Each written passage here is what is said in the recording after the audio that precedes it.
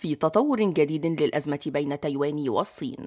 نشرت وزارة الدفاع التايوانية لقطات لطائراتها المقاتلة وهي تقلع لدوريات جوية قتالية من قاعدتين في تايتشونغ وهوالين بعد يوم واحد من تنفيذ بكين تدريبات عسكرية في جميع أنحاء الجزيرة. التحركات العسكرية التايوانية تأتي بالتزامن مع تحليق مقاتلات وسفن تابعة للجيش الصيني. لإجراء تدريبات حول تايبي بحسب ما أعلنت وزارة الدفاع التايوانية. كما اتهمت الصين باختراق الخط الفاصل في مضيق تايوان بمقاتلات صينية دخلت منطقة الدفاعات الجوية الجنوبية الغربية للجزيرة.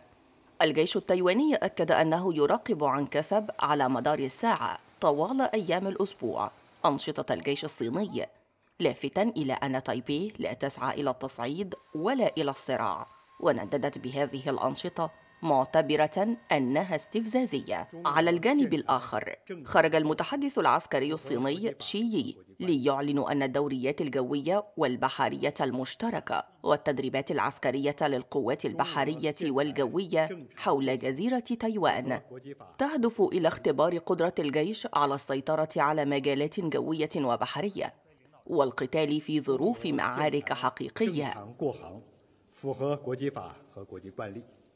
ومع تصاعد التوتر بين الجانبين جدد نائب رئيسة تايوان ويليام لاي انتقاده للصين وأكد أن بلاده ليست جزءا منها فيما طالب بكين بعدم تدخلها في الانتخابات الرئاسية لتايبي لافتا إلى أنها لا تقرر من سيفوز في الانتخابات.